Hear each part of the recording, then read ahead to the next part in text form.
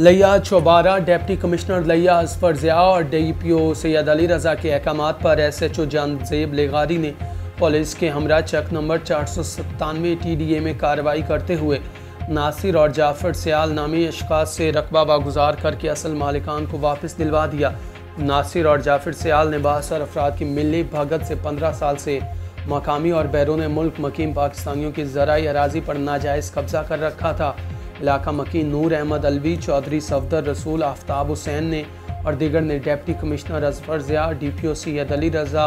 और उनकी टीम की जानब से कब्ज़ा माफिया के ख़िलाफ़ की जाने वाली कोशिशों को खूब सराहा।